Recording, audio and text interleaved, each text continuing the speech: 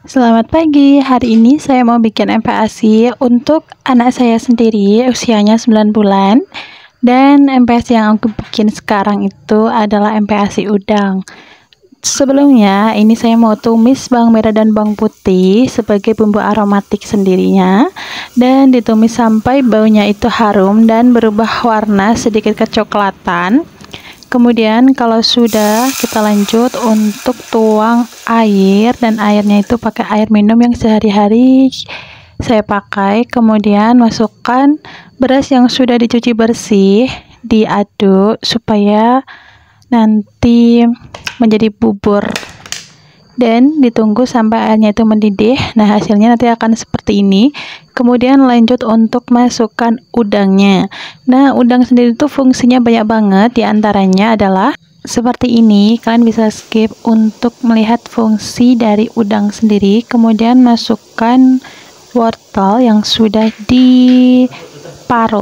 Kemudian jangan lupa diaduk dan masukkan tahu yang sudah dihancurkan kemudian diaduk.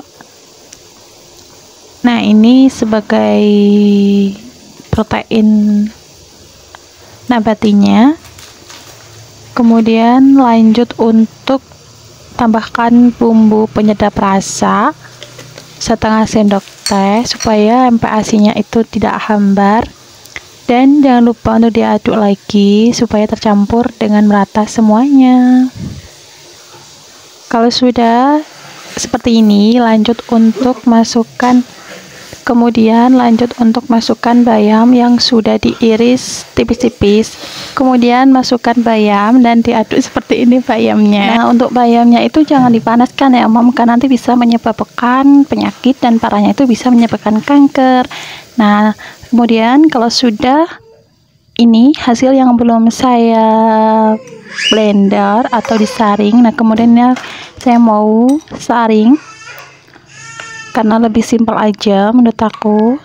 Dan seperti ini kurang lebih nanti untuk penyaringannya satu persatu dan hasilnya nanti akan seperti ini.